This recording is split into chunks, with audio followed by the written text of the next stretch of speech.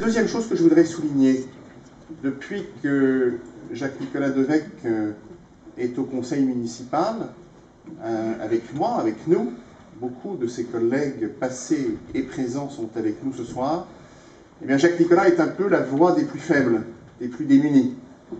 Euh, il est intervenu non sans courage à plusieurs reprises en ce sens. C'est pas toujours facile dans la vie saint-maurienne d'être l'avocat du logement social, l'avocat de ceux qui n'ont pas de ressources.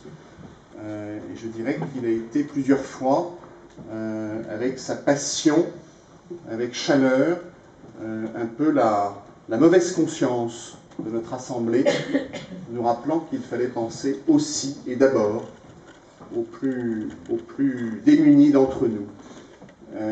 Jacques-Nicolas Devec a très longtemps représenté notre ville à l'Office public d'HLM, qui connaît d'ailleurs en ce moment, sous la présidence de Jacques Leroy, une mutation très importante.